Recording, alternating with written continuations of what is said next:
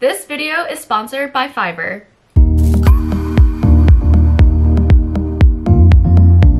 Welcome to my channel. If you're new here, hi, I'm Genna. I love to crochet plushies. And if you're a returning subscriber, welcome back. For today's video, it is a very exciting vlog. I finally completed one of my huge projects that has been on my list for so long and I will get to share all of the details with you guys. We also make some fun plushies, do some chit-chatting, and it'll be very chill, relaxing crochet vibes once again. But okay, with that, let's get into today's video.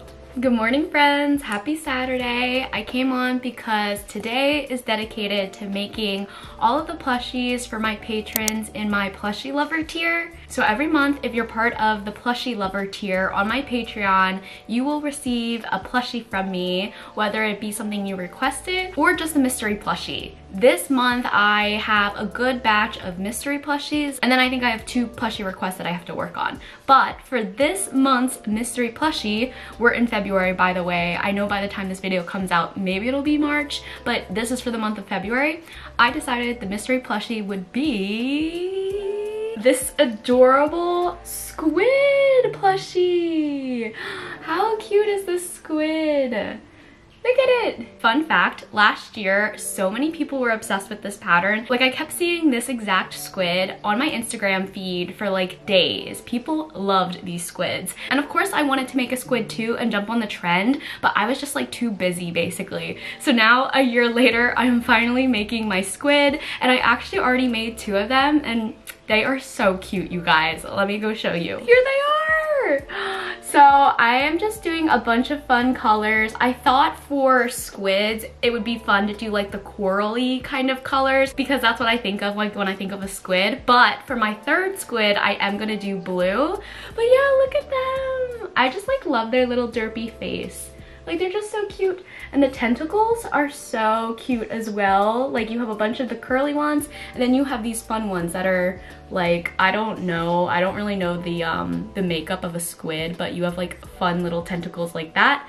And then like the curly ones that you typically see with like jellyfish.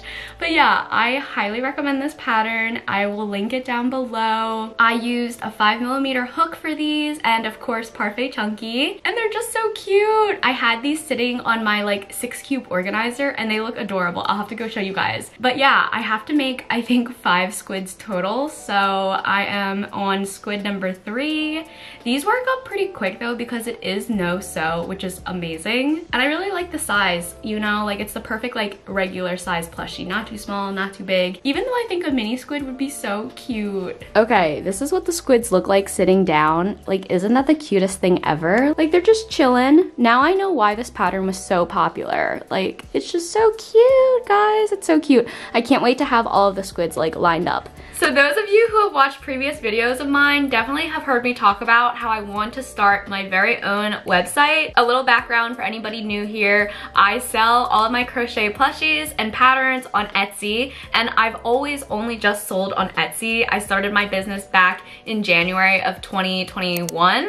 So it's been around three years now. I'm still only selling on Etsy. So it has been a big goal of mine to really just like migrate over to a standalone website. I still will keep my Etsy open, but I really wanna kind of like expand my brand and have my very own website. So it has been in the works for a while now. Honestly, with my schedule and working and just everything else, I haven't really dedicated enough time to building this website. And it's definitely a significant project that will require a lot of like hours of dedication just to building and creating the website. So I decided I wanted to outsource this and get some help with it. I feel like I've heard a lot of other small businesses talk about this, but outsourcing is a great way to get things done that you necessarily don't have the time to do. So this actually brings us to today's sponsor, which is Fiverr. So if you didn't already know, Fiverr connects you with freelancers that offer a wide variety of digital services. Some of these services include website building, video editing, social media marketing, AI services. The list goes on and on and Fiverr has it covered for everything. Fiverr also offers freelancer consultation services. So if you wanna have a one-on-one -on -one talk with a freelancer and kind of get advice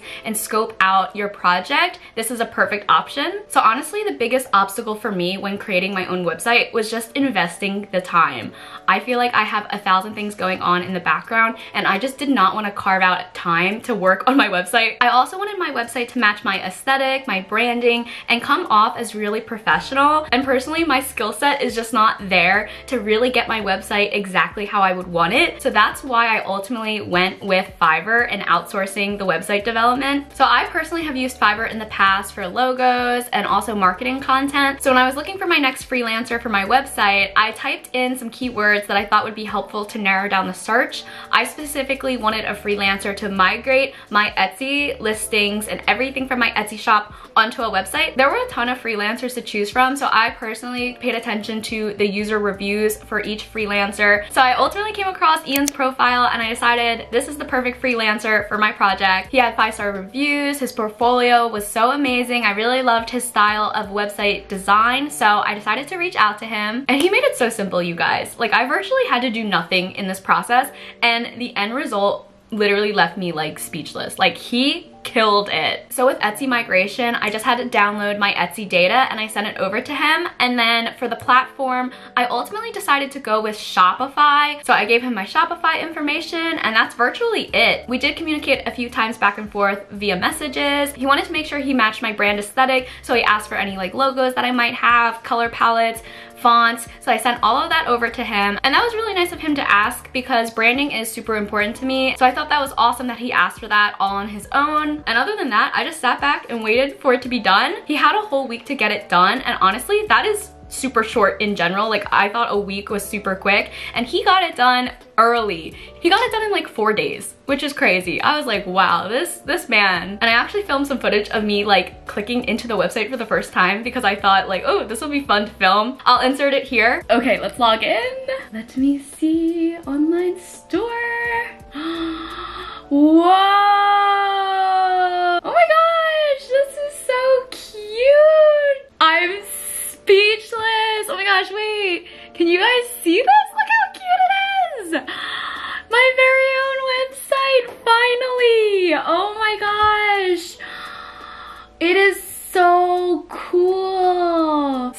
Needless to say, I loved the website and afterwards, once Ian like confirmed that I was happy with everything, he even offered to set up a call to walk me through step by step how to navigate the website on, you know, like the admin dashboard side and make sure that I understood everything and that everything was perfect. Without Ian and without Fiverr, I honestly don't know how long it would have taken me to finally launch my website. So I truly could not have done it without Fiverr. It's amazing the experience and skill level that each freelancer has, how easy it is to connect and find a freelancer that's perfect for your project, and it's very budget friendly. Head to fiverr.com slash Genna to check out all of the services available to you and get 10% off with the code Genna. I also came on because I received a special package in the mail from one of my viewers. So Erin reached out to me and she told me that she makes these custom stitch markers. So these basically help you keep track of what round you're on when you have patterns that have like, oh, for rounds one through 10, do the same exact thing. And I know I always struggle with like keeping track of like what round I'm on.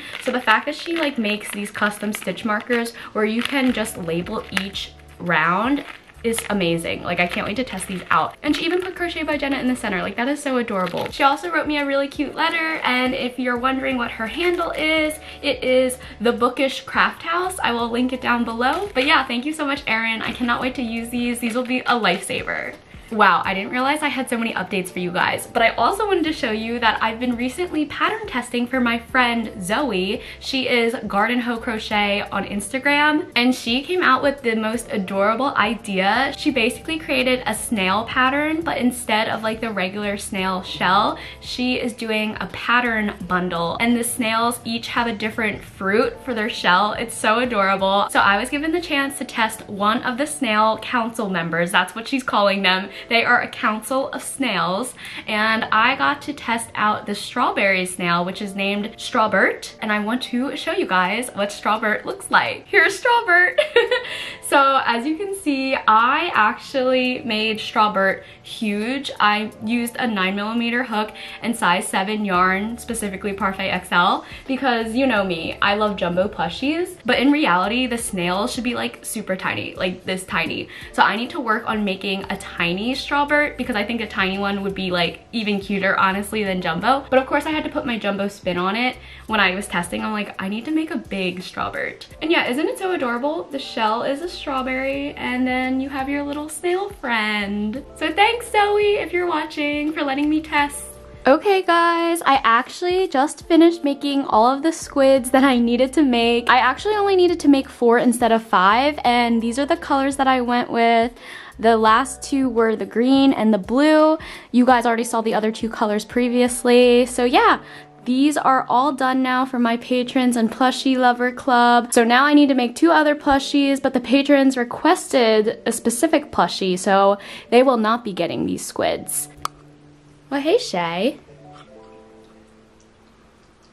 Shay's been so lovey. I want to try and pick up all of the squids and like hold them all together because I think that would be cute. So let me go try and grab them. Okay, yay! So here they all are. Oh my gosh, I don't know a good way to actually hold all of them. Ah, I don't want to crush them. Oh my gosh, they're so cute together. Okay, well I feel like no matter what, I'm going to be like covering somebody's face. Okay, there we go it's, it's kind of working, it's kind of working. But let me know down below what color you like best. Okay, I'll show you guys up close once more. This is like the orange color. We got mint. We got light blue. And then we got this like really pretty like red salmon color. So let me know down below what's your favorite color. So for Jess, I am going to be making her some adorable little dim sum. Um, I don't know how to say this Bao Bay. Eh? I have to look it up. But yes, I'm gonna make her a jumbo size dim sum dumpling thing. And I will probably be using a size 7 yarn because originally this pattern was written using acrylic, so these babies would turn out really small. Okay, I just looked it up. You do pronounce it bow, So I'm going to be making a jumbo bao. And so this yarn has been sitting in my closet for over a year now. I have so many skeins of this specific color because I was trying to make a human-sized turtle and I accidentally bought like six skeins of this like off-white cream color when I meant to buy white, just like solid white. So I haven't had a project that required me to use this like off-color white in so long. So this is the perfect opportunity. Honestly, I might just make a bunch of these just because they look super quick to whip up. And I do know that these like bao dim sum cute little like dumpling stuff is like popular right now so maybe I'll just like make a bunch and list them. Okay so today has been a very productive day. I just finished the giant bao and I want to show you guys. Here it is! Isn't it so cute? It really didn't take that long. I think the hardest part was like doing the top portion because you had to like sew back and forth to get kind of like this like clover shape. But it turned out so cute. I love how like derpy it is.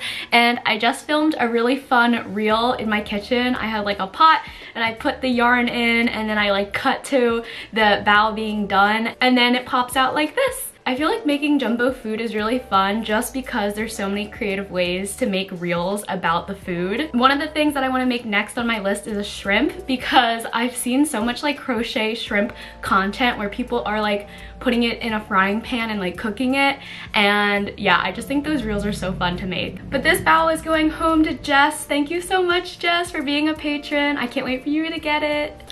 Okay, and so now we only have one more plushie to make for my last patron in Plushie Lover. This is for Leah, so if you're watching Leah, shout out. So for Leah, I'm actually gonna make something I've never made before, and it's been on my list to make for a while. Okay, so this is what I was thinking of making. It is Crochet Grove's mermaid pattern. And look, in the pattern pack, she gives you nine different varieties. Oh wait, there you go. She gives you these nine varieties to choose from. Like, look at all the animal mermaids, and then you have like the people mermaids. And I thought it would be a good investment to buy this pattern because honestly, I haven't made any mermaids yet, and I think they would be super cute to make. So for Leah, I think I am going to be making the frog mermaid. I think it is just so adorable. So I went ahead and I grabbed the Sweet Snuggles Light. I usually use Parfait Chunky, but Leah requested it to be jumbo. So I'm gonna use Sweet Snuggles Light because it is a bit thicker than Parfait. And then I'm gonna use this green color for the frog. And then I already started on the tail, but for the tail, I am doing this really pretty light blue. And as you can see, it's coming out pretty big already. Like this is just the tail and it's like bigger than my hand. So it's gonna be pretty big. The pattern calls for a 4.5 hook, but I sized up and I'm doing size six. So we'll see how it turns out, but I'm really excited because there's so many different mermaids that I can do in the future. So if any of my patrons watching who are in Plushie Lover Club, if you guys want a mermaid in the future, just send me a message because I definitely want to be making all of the variations in the future. Hey guys, so I lied. I actually did need to make five squids total. I don't know why I thought I only needed four. So I just made this squid and I chose this like blueberry blue color and it's so cute. I really like how it turned out. I honestly really like the darker color. I was trying to go for like a pastel light color squid theme, but the dark one turned out so cute. I also finished the frog mermaid and I really love how it turned out. Let me show you guys. Here it is is like, what? It's so cute. It's so derpy. And I love how this pattern was designed because the tail goes to the side so it easily can like stand up on its own and I just love it. It is adorable. So I definitely will be making more mermaids. I want to make all the different variations. A frog was high on the list but next I think I want to do a cow and then of course definitely a cat. But yeah, isn't it so cute? I love it. It's so derpy. Here are all the squids lined up, super cute. I don't know what my favorite color is now. I really do like the blueberry one best, I think. And then we also have the bao just chilling over there by itself. She needs to go home too. Good morning friends. I'm coming on because I've been working on a small child turtle for one of my customers and I'm really excited to show you guys. I've never done this color combination before and I actually really like it. So here's the small child turtle. I did this really pretty sage color for the body and this like blueberry blue for the shell. And I love how the colors look together. It's so cute! And this is my small child size turtle, so it's not as big as my human-sized turtle, but it's bigger than my jumbo-sized turtle. I know the naming convention's kind of confusing. I could not come up with a better naming convention. I was like human size, small child, jumbo, and then regular. But yeah, hug check. It's so cute. This is going to a little boy and I think he will really enjoy hugging it as well. I think it'll probably be bigger than him because I think he's like pretty young. So it'll be really cute to have this like massive turtle. And this is what it looks like with the fins out. Like it is pretty massive even though it's considered to be a small child. I haven't made one of these in so long, so I was so happy to get the order from my customer. It's always fun making new color combinations for these as well. So yeah, this one is going off to its forever home. And then speaking of turtles, I also just got done making this jumbo sunflower turtle. It is a mint green body turtle with the sunflower shell and this is actually for my friend Alicia. It is for her birthday. So I just wanted to say shout out Alicia if you're watching. Happy birthday and I hope you enjoy your sunflower turtle. I'm so excited to send her off to you. Guys, I came on because I actually added this really tiny ladybug onto the shell of the small child turtle that I just showed you and it is adorable. I totally forgot that the customer wanted it until I looked at the notes and it just adds so much cuteness to the turtle. Look at his little friend, so cute. Friends, I wanted to come on because remember the video where I made 23 turtles for Gimme Seaweed? I just got a giant PR box from them and I'm really excited to open it. It's like massive. Wait, there it is. It's it's right there. Um, let me come bring it closer and let's unbox it together because I I'm so excited. I love Gimme Seaweed. It is like the perfect snack if you're craving something light yet like savory. Okay, let me let me go get the box. Okay, I think it was hard to see how big the box actually was with it sitting on the ground. But for perspective, this is how big the box actually is. Like, it is my whole torso. Like, what? okay, let's open it. Okay, here we go. oh my gosh, I'm so excited, you guys.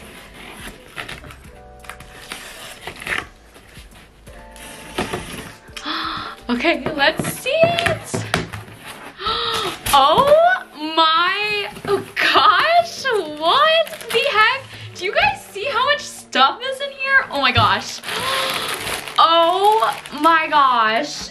You guys, there's probably like over a hundred things of seaweed in here. Gimme Seaweed really spoiled me. Oh my gosh.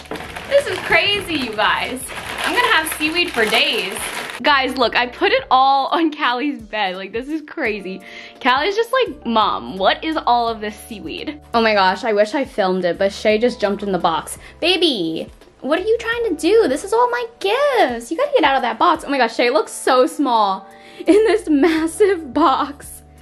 But alright, I think we're gonna call the video here. Thank you guys so much for watching. And thank you so much Fiverr again for sponsoring today's video. Be sure to check out fiverr.com slash Genna to see all of the services available to you and get 10% off with the code Genna. But alright, I hope you guys have a great rest of your day. Thank you again for all of the support and love and I'll catch you in my next one. Bye!